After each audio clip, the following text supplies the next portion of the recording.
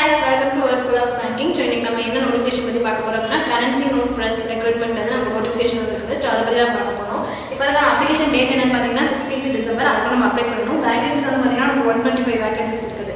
So என்ன போஸ்டிங்கான நம்ம நோட்டிஃபிகேஷன் வந்து பார்த்தீங்கன்னா சூப்பர்வைசருக்கான போஸ்டிங் ஸோ அதெல்லாம் நிறைய வேரியஸ் போஸ்ட் இருக்குது. யார் யார் எழுதுன்னு பார்த்தீங்கன்னா diploma in engineering BE BTech BSc in engineering படித்தோம்னா so இந்த வேரியஸ் போஸ்ட் ஒன்று அதே என்னன்னு பார்த்தீங்கன்னா mechanical information technology electrical electronics இந்த மாதிரி வேரியஸ் போஸ்ட் இருக்குது ஸோ அந்தந்த டிபார்ட்மெண்ட்ல படிச்சவங்க வந்துட்டு அந்த போஸ்டிங் வந்து நீங்கள் அப்ளை பண்ணிக்கலாம். ஸோ இந்த போஸ்டிங்கான ஏஜ் லிமிட் என்னென்னு பார்த்தீங்கன்னா எயிட்டீன் டு தேர்ட்டி தான். ஸோ ஓபிசி கேட்டகரிகளுக்கு அந்த ஏஜ் ரிலாக்ஸேஷன் த்ரீ இயர்ஸ் கொடுத்துருக்காங்க. அண்ட் எஸ்சிஎஸ்டி கேட்டகரிஸ் வந்துட்டு ஃபைவ் இயர்ஸ் கொடுத்துருக்காங்க.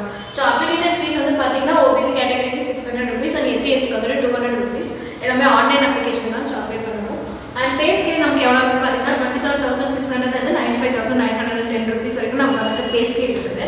அண்ட் எக்ஸாம் பேட்டர்ன் என்னென்னு பார்த்தீங்கன்னா